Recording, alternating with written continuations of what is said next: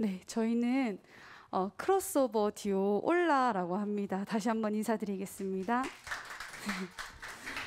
저희가 클래식 전공 연주자로서 일단 우선 관객분들에게 저희 클래식적인 이 윌리엄 볼콤의 우아한 유령을 첫 곡으로 준비해 보았어요. 네, 저희가 오늘 청춘 마이크 시너지 마지막 회차 연주거든요. 그래서 저희 관객분들께 어떤 메시지를 드리는 게 좋을까 이렇게 생각하고 있다가 아이유의 셀러브리티와 반편지로 여러분들께 위로를 전해드리고 싶다는 마음으로 네, 선곡하게 되었습니다. 네, 그럼 연달아서 곡 연주 시작할게요.